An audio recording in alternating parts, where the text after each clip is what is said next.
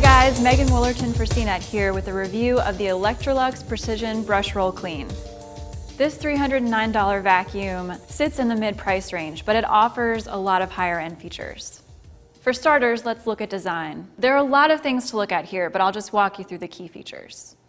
First of all, the handle up top doubles as a wand that you can release easily to get at hard to reach places.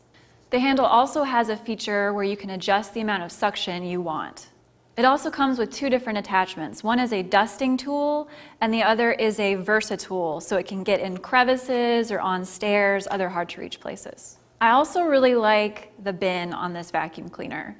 It's clear so you can see how much dust and dirt you've accumulated, and it's incredibly easy to remove and snap back into place. This vacuum cleaner also comes with a HEPA filter.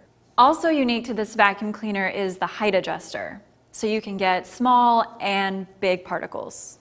By far my favorite feature of this vacuum cleaner is the brush roll clean technology.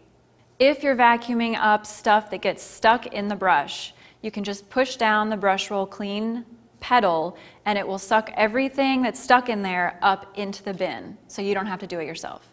So I tested this $309 vacuum cleaner against the $650 Dyson DC41, the $399 Dyson DC40, the $399 Oreck bagless touch, and the $199 Shark Rotator Pro liftaway.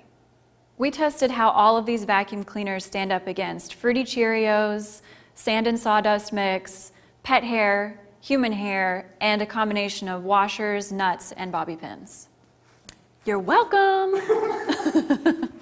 and we tested all of those different things on a short carpet, a thicker carpet, and hardwood.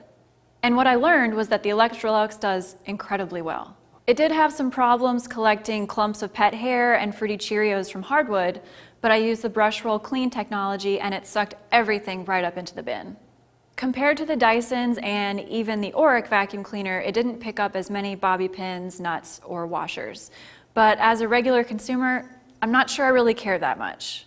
One difference between the Electrolux and the other four models we tested is maneuverability. The Electrolux does do well, but it doesn't have the same rotator ball or swivel feature as some of the others. Overall, I really love this vacuum cleaner. I would highly recommend it, especially compared to the more expensive models. It still does incredibly well and it's much less expensive. Thanks for hanging out. I'm Megan Wollerton for CNET.com.